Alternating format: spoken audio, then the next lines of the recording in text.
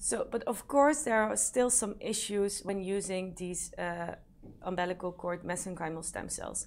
And the most, or the issues that uh, are are there the most are with isolation and the culture time, but also with contact inhibition.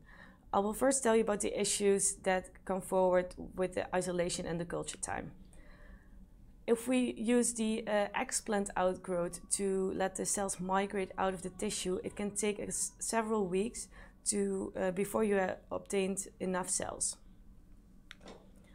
If you use the expansion method, it can even uh, take up more time, uh, several weeks, because this depends on the amount of cells that you need.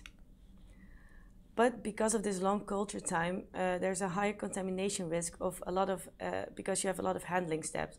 So the longer that you culture, the more often you need to change your medium, for instance. The second issue is with contact inhibition. And with contact inhibition, uh, we mean a confluency that is above 80%.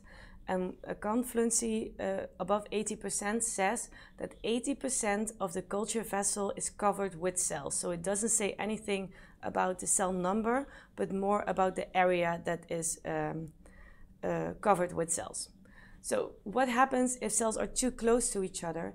That means that the mesenchymal stem cells give each other uh, certain factors and uh, certain signals that they already will start differentiating and they already will become specialized cells. And maybe you don't want that. Maybe you still want your stem cell to be a stem cell and not to already have differentiated into a cell that cannot uh, differentiate into another um, cell line anymore.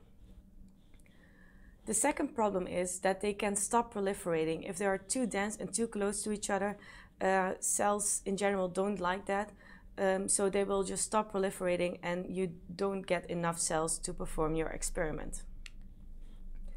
So therefore, you need daily confluency checks to make sure that your cells are passage in time because you don't want them to be overconfluent.